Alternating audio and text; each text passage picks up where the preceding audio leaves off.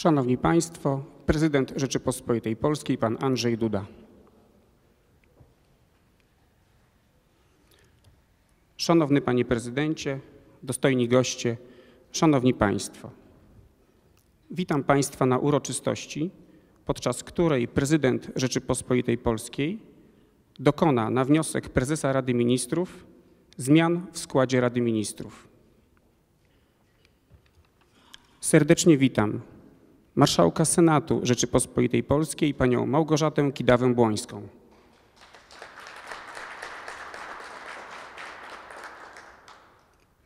Wicemarszałka Sejmu Rzeczypospolitej Polskiej pana Piotra Zgorzelskiego. Prezesa Rady Ministrów pana Donalda Tuska wraz z wiceprezesami Rady Ministrów, członkami Rady Ministrów oraz kierownictwem prezesa Rady Ministrów. Szefa Kancelarii Sejmu Rzeczypospolitej Polskiej pana Jacka Cichockiego.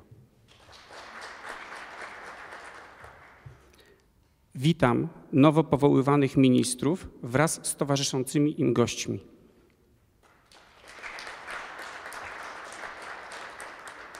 Witam wszystkich gości przybyłych na dzisiejszą uroczystość.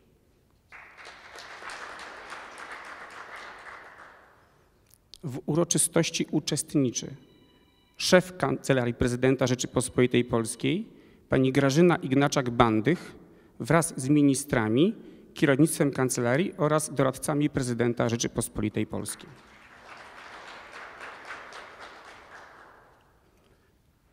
Szanowni Państwo, na podstawie artykułu 161 Konstytucji Rzeczypospolitej Polskiej na wniosek prezesa Rady Ministrów postanowieniem prezydenta Rzeczypospolitej Polskiej z dnia 13 maja 2024 roku powołani zostali z dniem 13 maja 2024 roku pan Tomasz Siemoniak, minister, członek Rady Ministrów na urząd ministra spraw wewnętrznych i administracji.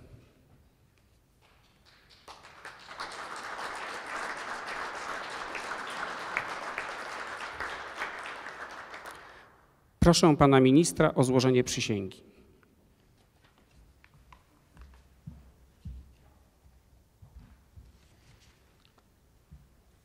Obejmując urząd ministra spraw wewnętrznych i administracji, uroczyście przysięgam, że dochowam wierności postanowieniom Konstytucji i innym prawom Rzeczypospolitej Polskiej, a dobro ojczyzny oraz pomyślność obywateli będą dla mnie zawsze najwyższym nakazem. Tak mi dopomóż Bóg. Proszę o po- podpisanie roty przysięgi.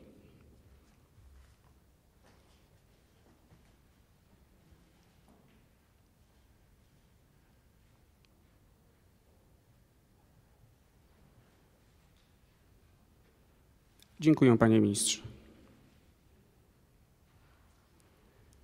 Pan Jakub Jaworowski w skład Rady Ministrów na urząd ministra aktywów państwowych.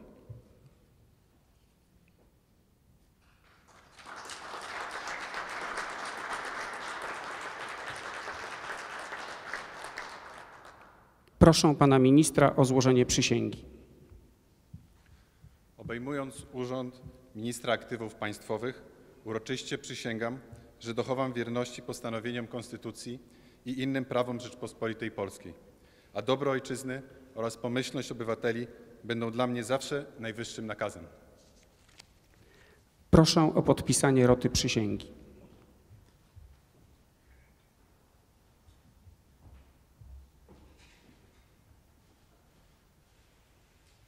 Dziękuję panie ministrze.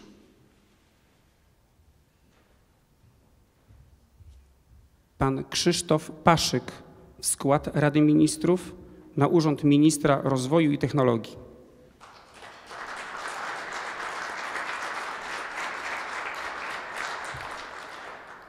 Proszę pana ministra o złożenie przysięgi.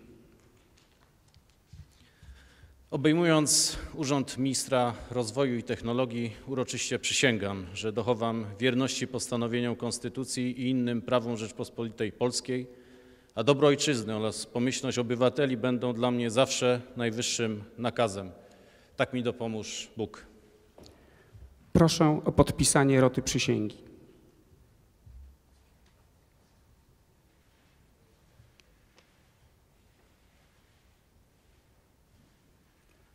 Dziękuję, panie ministrze. Pani Hanna Wróblewska w skład Rady Ministrów na Urząd Ministra Kultury i Dziedzictwa Narodowego.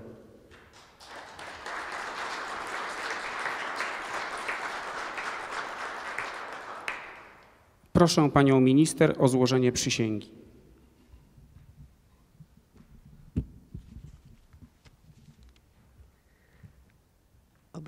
Obejmując urząd ministra kultury i dziedzictwa narodowego, uroczyście przysięgam, że dochowam wierności postanowieniom Konstytucji i innym prawom Rzeczypospolitej Polskiej, a dobro ojczyzny oraz pomyślność obywateli będą dla mnie zawsze najwyższym nakazem. Proszę o podpisanie roty przysięgi.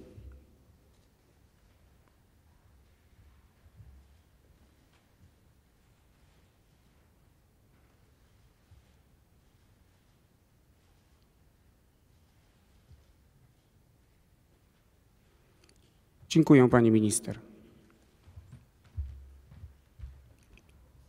O zabranie głosu uprzejmie proszę prezydenta Rzeczypospolitej Polskiej, pana Andrzeja Dudę.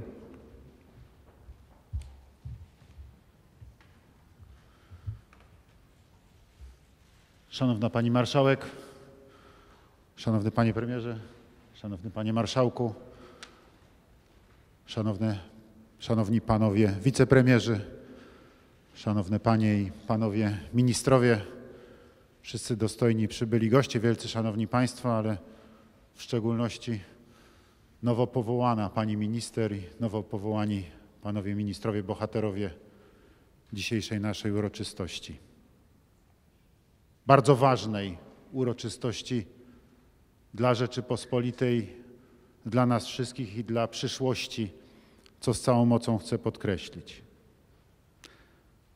Tak bardzo często mówimy, zwłaszcza w ciągu tych ostatnich dwóch lat, że żyjemy w trudnych czasach. Śmiało można powiedzieć, że to nie tylko ostatnie dwa lata, ten rzeczywiście taki w widoczny sposób trudniejszy czas w ostatniej naszej historii zaczął się już kilka lat temu. Można powiedzieć, że rozpoczęła go rosyjska agresja na Ukrainę i to nawet nie ta w 22 roku, która jest rzeczywiście najtragiczniejsza w dziejach Europy praktycznie od końca II wojny światowej, ale także już i ta wcześniejsza w 2014 roku, kiedy dla wszystkich stało się jasne, że to, co Rosja pokazała w 2008 roku w Gruzji, to nie był przypadek, że to jest powrót niestety rosyjskiej strategii, rosyjskiej misji, mi, myśli i rosyjskiej ambicji imperialnej. Żyjemy więc w bardzo trudnych czasach. Dzisiaj zmagamy się z rosyjską agresją na Ukrainę, zmagamy się z rosyjskim imperializmem, zmagamy się z atakiem hybrydowym na naszą wschodnią granicę i bardzo trudną polityką. Nie wspomnę już o czasie pandemii koronawirusa, który dotknął nas, poddając próbie nie tylko nasze, ale światowe łańcuchy dostaw i kwestie ochrony zdrowia dla wielu rodzin był to czas ogromnie tragiczny, utraty najbliższych. W istocie więc śmiało możemy mówić, że rzeczywiście żyjemy w trudnych czasach, które stawiają specyficzne wymagania. Dzisiaj dokonujemy zmiany na bardzo ważnych stanowiskach w Rzeczypospolitej. Ta, to nasz, ta dzisiejsza uroczystość została poprzedzona moją rozmową z panem premierem, także w tych kwestiach właśnie najważniejszych. Tą rozmowę mieliśmy z panem premierem zaległą. Cieszę się, że mogliśmy ją przeprowadzić. Cieszę się, że pan premier wraca do zdrowia. Szanowni Państwo, to rzeczywiście są ogromnie ważne resorty. Patrząc z punktu widzenia bezpieczeństwa Rzeczypospolitej, w tym pierwszym absolutnie priorytetowym elemencie z całą pewnością Ministerstwo Spraw Wewnętrznych i Administracji. Dzisiaj odpowiedzialne za tak wiele właśnie obszarów bezpieczeństwa Rzeczypospolitej, oczywiście przede wszystkim tego bezpieczeństwa wewnętrznego, bezpieczeństwa i porządku publicznego, ale także między innymi pan minister jest odpowiedzialny za nadzór nad Strażą Graniczną, nadzór nad tymi służbami, które są bezpośrednio za granicą odpowiedzialni. Dzisiaj spoczywa na nich ogromnie wielkie zadanie, są śmiało można powiedzieć poddani testowi od właściwie lata 2021 roku, odkąd zaczął się atak hybrydowy na polską granicę ze strony białoruskiej, odkąd pchane są grupy migrantów po to, żeby nie mieliśmy co do tego od samego początku żadnych wątpliwości, sprawdzić naszą gotowość na tego typu nietypowe i zupełnie nowe dla nas formy presji i zagrożenia. Z jednej strony politycznego, ale z drugiej strony także zupełnie realnego, fizycznego zagrożenia. Funkcjonariusze Polskiej Straży Granicznej, wsparci przez żołnierzy i funkcjonariuszy policji, ten egzamin zdali przez całe lata i zdają go nadal. Cieszę się, że ostatnio na granicy, w ostatnich dniach dosłownie był pan premier i na własne oczy mógł zobaczyć, jak ta służba się odbywa, jak bardzo często trudne są to warunki, zwłaszcza jeżeli wyobrazimy sobie, że dzieje się ona także i w okresie zimowym, kiedy temperatury w tym obszarze Polski są bardzo często bardzo niskie, a zarówno funkcjonariusz Straży Granicznej, jak i żołnierz od trzech lat są tam praktycznie cały czas. Jest ta służba rzeczywiście bardzo ciężka. Proszę pana ministra o szczególną opiekę nad nimi, bo ci ludzie zostali poddani bardzo ciężkim próbom w ostatnich latach. Nie tylko tam na granicy, również i w tej przestrzeni politycznej, medialnej. Oni wykonują służbę dla polskiego państwa, realizują wytyczne, które są im udzielane także przez demokratycznie wybrane władze, pana ministra jako nadzorującego ich dowódców, ich przełożonych. Tymczasem i oni sami, ich mundur był w ostatnich latach wielokrotnie poniewierany. Znamy wszyscy dobrze te sytuacje i te przykłady. Mam nadzieję, że to się nigdy więcej nie powtórzy. Można dyskutować na temat decyzji politycznych, ale nie dyskutuje się na temat służby funkcjonariuszy Rzeczypospolitej Polskiej i jej żołnierzy, bo oni po prostu służą Rzeczypospolitej. Proszę, żeby pan minister budował szacunek do nich i do ich munduru. To jest sprawa fundamentalna. Mam nadzieję też na dobrą współpracę z panem ministrem. Pamiętam czasy początku mojej prezydentury, kiedy pan minister pełnił funkcję ministra obrony narodowej. Uważam, że tamta współpraca, choć ze strony pana ministra nie trwała długo, pamiętamy wszyscy, zmieniła się wtedy wkrótce sytuacja polityczna w Polsce ale ja tam ten okres tych kilku miesięcy, przez które współpracowaliśmy, dobrze wspominam i liczę na to, że ta współpraca z panem ministrem w tych obszarach oczywiście, w których no, jest także ta w jakimś sensie opieka nad służbami mundurowymi i kwestią bezpieczeństwa państwa ze strony prezydenta, że będzie ona się układała dobrze. Na to bardzo liczę i o taką współpracę też pana ministra bardzo proszę. Ale proszę Państwa, dzisiaj bezpieczeństwo to nie tylko to bezpieczeństwo w znaczeniu fizycznym, którego na co dzień pilnują żołnierze i funkcjonariusze. To bezpieczeństwo także jest nieodmiennie związane z rozwojem Rzeczypospolitej i rozwojem infrastruktury. Może pan minister rozwoju dzisiaj nie do końca za te, za te obszary odpowiada, ale odpowiada pan między innymi za rozwój technologiczny. Ogromnie mi na tym zależy, abyśmy w tym aspekcie przyłożyli szczególną pieczę do ambitnego realizowania polskich spraw. Ta sprawa ma dla mnie znaczenie zupełnie fundamentalne. Ogromnie mi na tym zależy. Mamy cały szereg wielkich inwestycji, które mam nadzieję będą w Polsce w najbliższych latach realizowane. Liczę ogromnie na to, że będziemy realizowali centralny port komunikacyjny. To jest inwestycja o charakterze dziejowym. To jest inwestycja, która ma dla Polski wielkie znaczenie nie tylko gospodarcze, bo to jest ogromne i ogólnie rozwojowe, bo za tym idzie cały rozwój infrastruktury komunikacyjnej, kolejowej, drogowej. Za tym idzie także oczywiście, co super ważny rozwój gospodarczy, ale to jest także ogromnie ważna sprawa, jeżeli chodzi o bezpieczeństwo Rzeczypospolitej. Potrzebujemy w Polsce takiego właśnie wielkiego lotniska, które będzie w stanie obsłużyć ogromny ruch, także i militarny, jeżeli zajdzie taka potrzeba. Nie daj Panie Boże, że potrzebowalibyśmy silnego wsparcia ze strony naszych sojuszników. To będzie port komunikacyjny, to będzie lotnisko, które będzie mogło przyjąć największe samoloty na świecie, transportujące żołnierzy, transportujące sprzęt.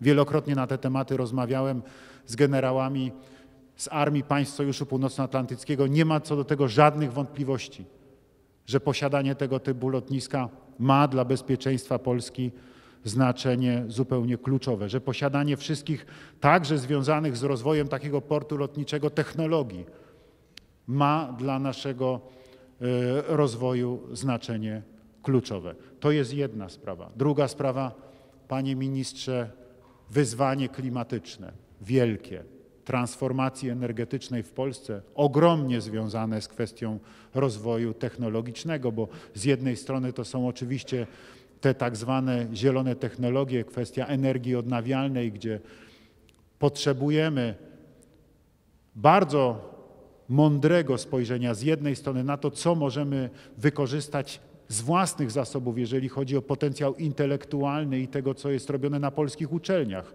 co jest realizowane przez polskich wynalazców, także przez młodych, chociażby przez polskie think tanki i przez polskie, i przez polskie, przez polskie małe firmy, które mają tyle dzisiaj y, propozycji różnego rodzaju. Prosiłbym, żeby pan minister nad tymi kwestiami miał szczególną pieczę.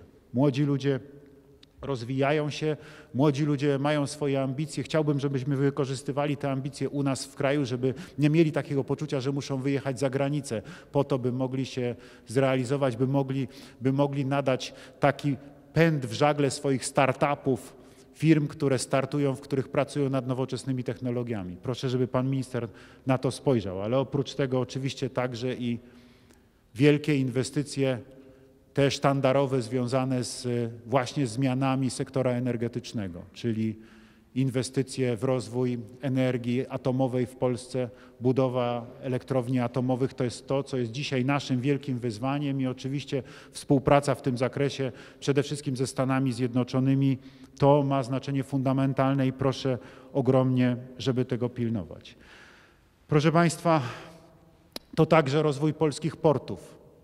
Panie ministrze, terminale kontenerowe, które musimy budować. Zarówno to, co planowane jest i realizowane jest dzisiaj poprzez rozbudowę portu gdańskiego, mam nadzieję także i rozbudowę portu w Gdyni, ale także oczywiście Świnoujście. To są dzisiaj wielkie wyzwania.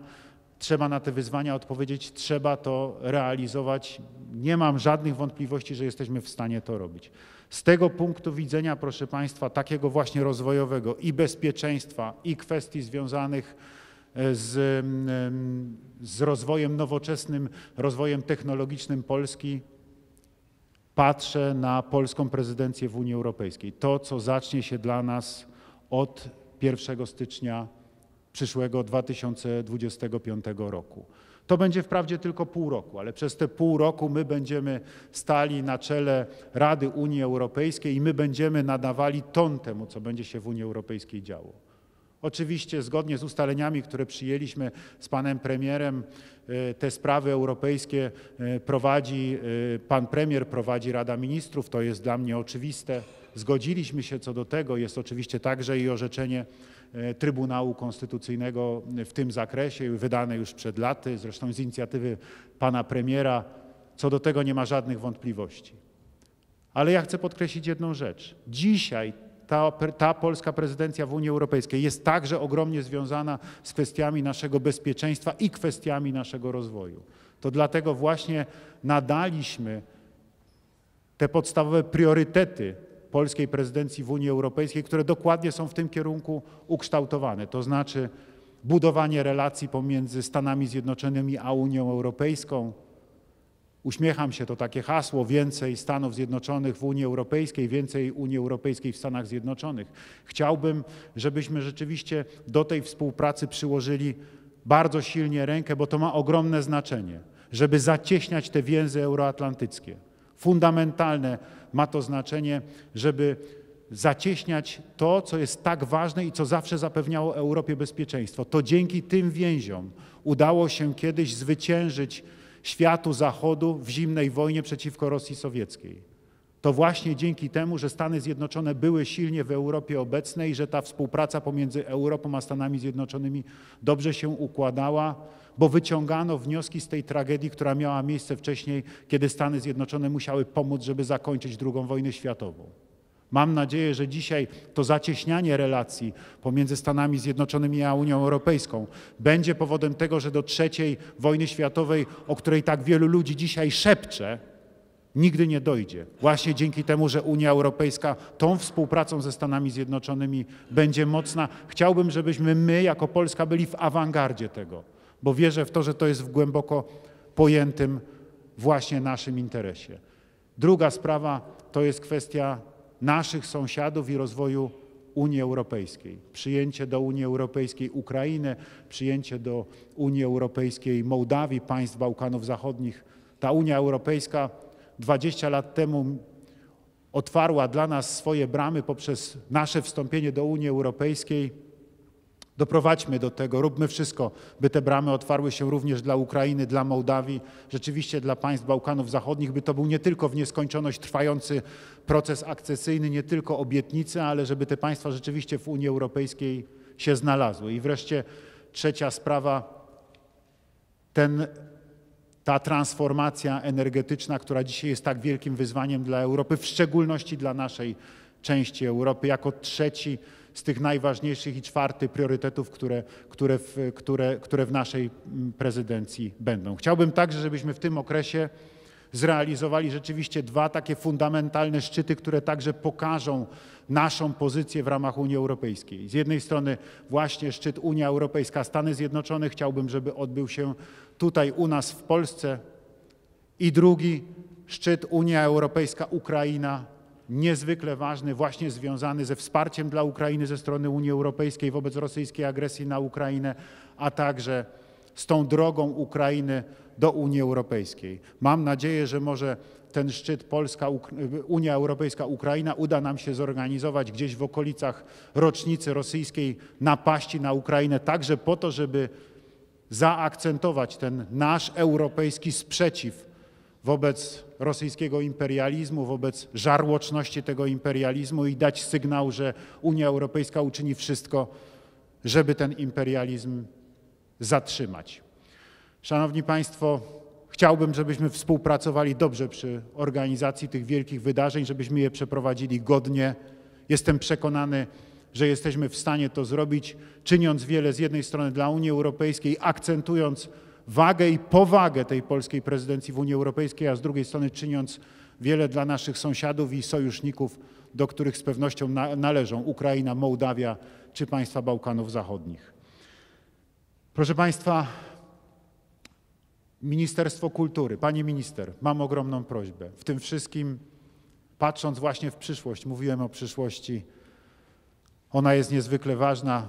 To jest wychowanie młodzieży, gdzie ministerstwo kierowane przez Panią odgrywa tak ogromną rolę w budowaniu postaw. To nie tylko kwestia edukacji, szkolnictwa, czy to tego podstawowego, czy średniego, czy, czy wyższego.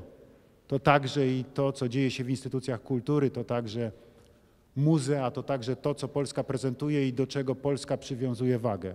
Prosiłbym, żeby pani minister nad tym kształtowaniem postaw patriotycznych pracowała. Mnie ogromnie na tym zależy, żebyśmy dobrze wychowali następne pokolenia, tak żeby Polska była bezpieczna. My czynimy wszystko dzisiaj, żeby oni mogli żyć w jak najlepszej Polsce, żeby oni mogli żyć w bezpiecznej Polsce. Ważnym elementem tego, by taka przyszłość była zapewniona też dla kolejnych pokoleń, jest to, jak oni będą wychowani, jaką Polskę oni będą widzieli także z punktu widzenia choćby prezentowania jej historii. Prosiłbym panią minister o szczególną pieczę nad tym, bo ogromnie, ogromnie mi nad tym elementem zależy. W ostatnich latach udało się zbudować wiele placówek muzealnych prezentujących te różne aspekty naszej historii. W ostatnim czasie byłem w przepięknej takiej placówce w Poznaniu, na Ostrowie Tumskim, pokazującym, pokazującym początki państwa polskiego i to, co z tych początków udało się tam odkryć. Chciałbym, żeby takich placówek w Polsce było więcej, żeby te placówki były na bardzo wysokim poziomie zadbane i żeby one rzeczywiście były celem nie tylko szkolnych wycieczek, co oczywiście fundamentalnie ważne, ale także, by po prostu każda rodzina miała poczucie, że, że warto te miejsca odwiedzić i warto się z tą wielką naszą historią i od strony czysto historycznej, i od strony kulturowej zapoznać. Szanowni Państwo, mam nadzieję na dobrą współpracę. Jest oczywiście też nowy pan minister aktywów państwowych. Panie ministrze, we wszystkich tych aspektach, o których mówiliśmy, to także jest pana rola, bo wszędzie tam pojawiają się te dobra państwowe, za które pan y, odpowiada i liczę na to, że te sprawy y, będą dobrze prowadzone. Życzę wszystkim państwu ministrom pomyślności w tym zakresie. Dziękuję, że państwo podejmujecie te obowiązki w trudnych, tak jak powiedziałem, czasach.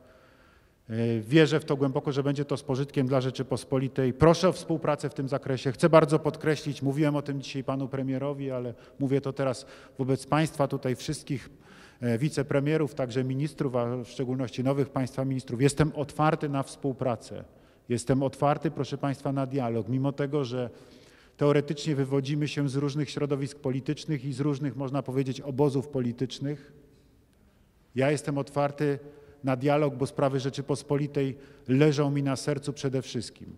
Możemy różnie patrzeć na różne elementy i aspekty, ale najważniejsze jest to, by Rzeczpospolita trwała w Europie na swoim miejscu i by należne sobie miejsce w Europie zajmowała. Mam nadzieję, że na tym zależy nam wszystkim i że będziemy w stanie w, przynajmniej w bardzo wielu sprawach wspólne stanowisko wypracować dla dobra Rzeczypospolitej i także dla spokoju naszych współobywateli i naszych wyborców. Dziękuję bardzo, życzę Państwu powodzenia.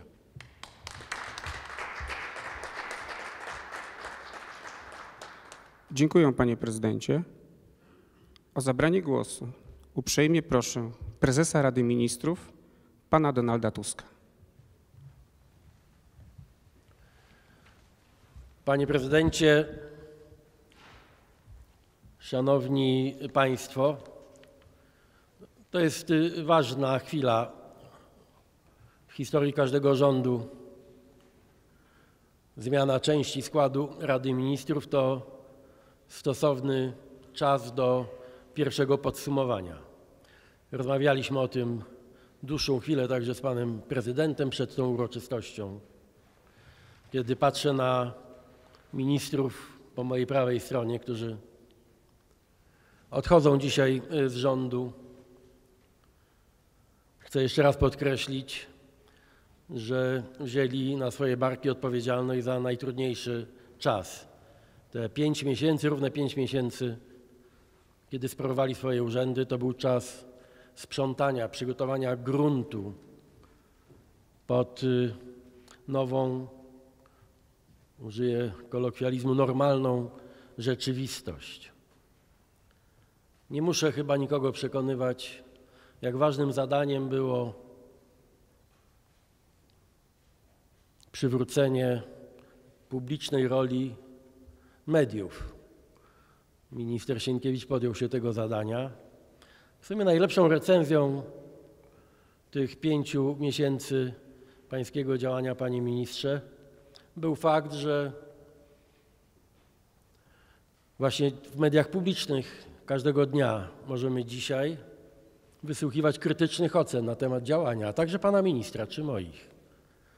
Dzisiaj wydaje się to znowu czymś oczywistym, ale kiedy obejmowaliśmy swoje mm, urzędy, kiedy pan minister Sienkiewicz zaczynał swoją pracę jako minister kultury, to wydawało się to rewolucyjnym i bardzo ambitnym zamiarem, aby media publiczne stały się znowu mediami wolnymi i mediami, które mogą, mają prawo także do krytycznych sądów na temat władzy wykonawczej. Bardzo dziękuję panie ministrze za ten prosty, a wymagający nadzwyczajnej energii, determinacji y, y, czyn.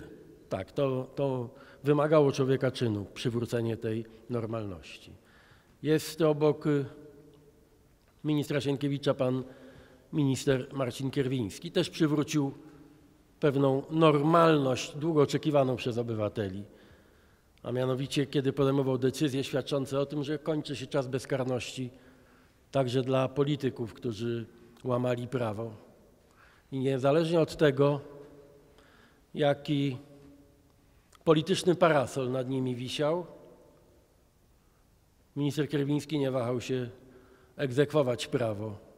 I bardzo panu ministrowi za to dziękuję. Wiem, że to nie były łatwe decyzje, wiem, że do dzisiaj niektórzy panu ministrowi to pamiętają, a ja chcę powiedzieć, że Rzeczpospolita na pewno będzie długo pamiętała ten akt także cywilnej odwagi, a dzisiaj chyba oceniany jako coś absolutnie oczywistego i normalnego. Minister Budka, kiedy wkraczał w, w tę przestrzeń gospodarki pod częściową kontrolą państwa, też miał przed sobą zadanie przywracania normalności. Już po kilkunastu dniach minister Borys Budka powiedział, właściwie to tu nie trzeba ministra aktywów państwowych, tylko superprokuratora, żeby doprowadzić do porządku sytuację w spółkach Skarbu Państwa. Mm, Na szczęście minister Borys Budka jest prawnikiem i w związku z tym dobrze przygotował także od strony prawnej grunt do naprawy spółek Skarbu Państwa i do wyegzekwowania także y, takiej elementarnej sprawiedliwości w ocenie tego, co działo się przez długie lata w spółkach Skarbu Państwa.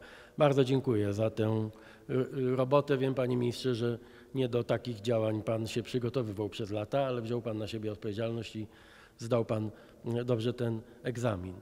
Minister, minister Krzysztof Hetman pomagał mi każdego dnia, żeby tak skromnie stał za plecami kolegów, ale teraz go widzicie, żebyśmy mogli przygotować Polskę rzeczywiście do y, takiego skoku cywilizacyjnego.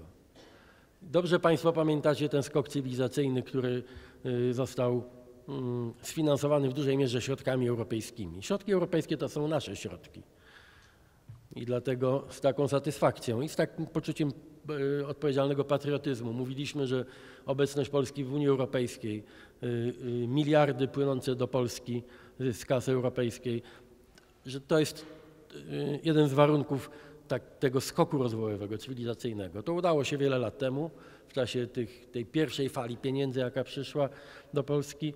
Y, Dzisiaj stoimy przed tym wyzwaniem i trzeba było przygotować urzędy, instytucje, organizacje pracy, procedury, żeby po odblokowaniu przez mój rząd y, pieniędzy europejskich, żeby te pieniądze służyły rozwojowi y, i y, bardzo za to, za to dziękuję panie ministrze, za taką spokojną, też bardzo odpowiedzialną pracę. Ona, ona zaprocentuje, panie prezydencie, jestem przekonany, że za kilka, kilkanaście miesięcy zobaczymy, co znaczy nie tylko zdobyć pieniądze dla Polski, ale też mądrze je wykorzystać. Grunt pod to zbudował między innymi pan mm, minister Hetman. Bezpieczeństwo jest absolutnie dzisiaj słowem kluczem. Dziękuję, że pan prezydent y, wspomniał i zauważył moją obecność na granicy z Białorusią. Tak, bardzo zależało mi na tym, żeby funkcjonariusze, żołnierze, policjantki, policjanci, ci wszyscy, którzy biorą na siebie ciężar, ten codzienny ciężar obrony granicy, obrony terytorium, pilnowania naszego bezpieczeństwa, żeby wiedzieli, że państwo jest po ich stronie. Y, Podobnie jak w dziedzinach, o których przed chwilą wspomniałem, także i tam musimy wiele rzeczy naprawić. Jest bardzo ważne, żeby żołnierze, Straż Graniczna, policjanci wiedzieli, że państwo jest po ich stronie w tych trudnych działaniach. To jest bezdyskusyjne. I tutaj nic z panem prezydentem z całą pewnością mnie i mojego rządu nie różni. Nic nas nie dzieli. Problemem jest to, w jaki sposób y, pomóc tym, którzy na co dzień bronią ojczyzny przed różnymi ryzykami i zagrożeniami. A więc problemem jest postawienie y, takiej zapory, która skutecznie będzie chroniła Polskę zarówno przed nielegalną migracją, jak i y, przed zagrożeniami wynikającymi z konfliktów zbrojnych. Y, Po tej wizycie, po długich rozmowach z generałami, komendantami, nie mam żadnych wątpliwości, że trzeba będzie bardzo dużo pieniędzy, bo czasu nie mamy, ale bardzo dużo pieniędzy, wysiłku, y, pomysłów zainwestować w to, żeby wreszcie bezpieczeństwo naszej granicy przestało być przedmiotem, przedmiotem propagandy, a stało się rzeczywiście wielkim wysiłkiem wspólnym rządu, pana prezydenta i ludzi odpowiedzialnych na co dzień za nasze bezpieczeństwo. Y, Nowy minister spraw wewnętrznych będzie musiał także zadbać o nasze bezpieczeństwo wewnętrzne. Wciąż jesteśmy pod wrażeniem informacji o wpływach rosyjskich, białoruskich na najwyższych urzędników. Sprawa sędziego, który zdradził Rzeczpospolitą i który był tak aktywny również w rozbijaniu systemu polskiego prawa przez lata tu w Polsce, y, wszystkim nam uświadomiła, ile mamy do zrobienia także w tej dziedzinie. Pan minister Tomasz Siemoniak bierze na siebie wielką odpowiedzialność i to będzie nas wszystkich kosztowało bardzo dużo pracy, aby to poczucie wewnętrznego bezpieczeństwa stało się też faktem. To będzie priorytet dla mojego rządu. Bezpieczeństwo zewnętrzne i bezpieczeństwo wewnętrzne we wszystkich aspektach, we wszystkich kontekstach i będziemy tutaj działali bez wahania. Będziemy, podobnie jak ci ministrowie, którzy dzisiaj odchodzą, będziemy bezwzględni wobec zła. I y, każdego dnia, każdej godziny będziemy współpracowali, działali z każdym, kto ma dobrą wolę na rzecz tego bezpieczeństwa i na rzecz oczyszczenia z tego ewidentnego zła, jakie się rozpleniło w niektórych miejscach w Polsce, tak żebyśmy byli dumni i będziemy dumni z, naszych wspólnych wysiłków i tak, aby nasi obywatele, obywatelki czuli się w ojczyźnie bezpiecznie. Mm, Chciałbym tu wszystkim przyrzec, że podobnie jak odchodzący ministrowie, nowa pani minister, nowi ministrowie i cała Rada Ministrów, panie prezydencie, będzie y, temu poświęcała cały swój czas, całą swoją energię dla dobra Rzeczpospolitej, dla naszego wspólnego, bezpiecznego domu. Dziękuję bardzo.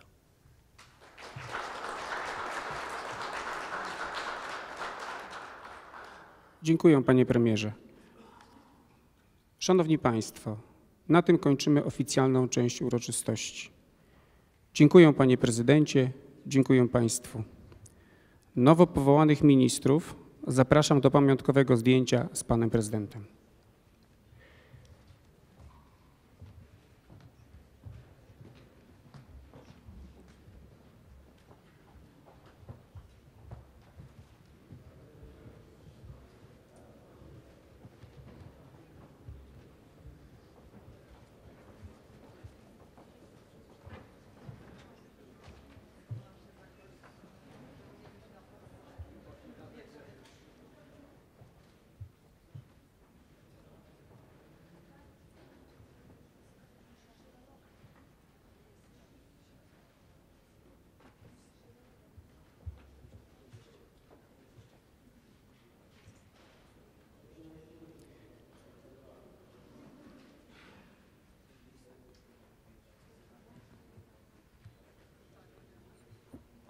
Zapraszam państwa na dalszą część spotkania do sali.